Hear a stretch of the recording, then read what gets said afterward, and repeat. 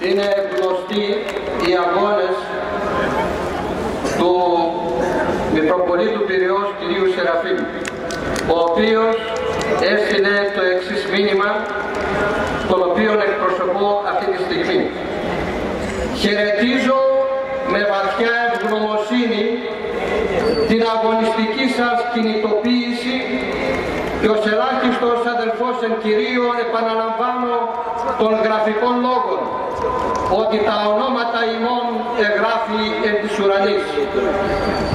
Διακρατείτε της Θεοσδότου ελευθερίας του ανθρωπίνου προσώπου και υπερασπίζεστε την αξιοπρέπεια, την ετοιμότητα και την δικαιοσύνη στις ανθρώπινες σχέσεις και ταυτόχρονα αντιπαλέεται με δυναμισμό και πιστότητα τον βάναυσο σχεδιασμό της νέας εποχής για την επιβολή της παγκόσμιας δικτατορίας των εωσφορικών δυνάμεων. Η σχεδιαζόμενη αντικατάσταση των ταυτοτήτων μας αποβλέπει στην καταστρατήγηση της προσωπικής μας ελευθερίας με μια έξυπνη κάρτα με μικροτσίπ προηγμένης τεχνολογίας RFID, μεγάλης χωρητικότητος, στοιχείων και με δυνατότητες συνεχών αναπρογραμματισμών, επεξεργασίας και αποθήκευσης χωρίς τη δική μας βούληση. Με την καταπάτηση της ιδιωτικότητος, ο άνθρωπος αλλάζει στάση ζωής με σοβαρές κοινωνικές και ψυχολογικές επιπτώσεις, με κακόβουλες αλλοιώσεις των προσωπικών δεδομένων και με δυνατότητα καταδυνάστευσης από τους εντόπιους διατάκτες των ισχυρών του πολιτικο-τραπεζικού σιωνιστικού συστήματος.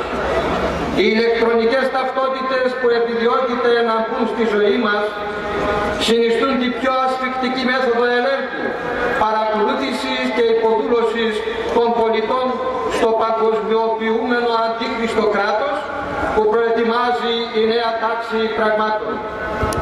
Αυτοί οι εφέσχητοι σχεδιασμοί ανατρέπονται μόνο με μαζική, δυναμική, συντονισμένη και αποφασιστική αντίσταση. Ανατρέπονται με αφύπνιση και εγρήγορση, με ομολογιακό και μαρτυρικό φρόνημα. Η ομολογία όμως της πίστεως συνάπτεται άρρηκτα με την ορθοπραξία και δεν είναι καρπός επικολαίου ενθουσιασμού. Είναι το χάρισμα του Παναγίου Πνεύματος που δίδεται σε εκείνους που αγωνίζονται με ύψη, προσευχή, μετάνοια, ταπεινό και ασκητικό φρόνημα για να γίνουν δεκτικοί του χαρίσματος. Αυτό σας εύχομαι με όλη μου την καρδιά. Ο Πυραιός Σεραφείμ.